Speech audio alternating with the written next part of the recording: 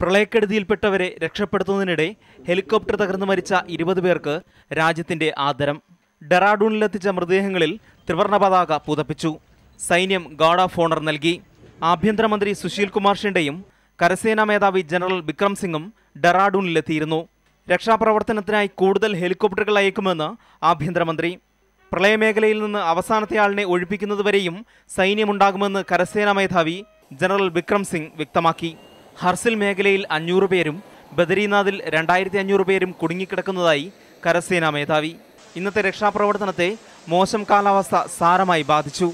നാളെയോടെ പ്രളയമേഖലയിൽ നിന്ന് എല്ലാവരെയും ഒഴിപ്പിക്കാൻ കഴിയുമെന്ന് സംസ്ഥാന സർക്കാർ സുപ്രീം കോടതിയെ അറിയിച്ചു. ഉത്തരാഖണ്ഡിലെ പ്രളയമേഖലയിൽ നിന്ന് രക്ഷപ്പെട്ടെത്തിയ രണ്ട് മലയാളികൾ കൂടി Kerala ഹൗസിലെത്തി. India vision New Delhi.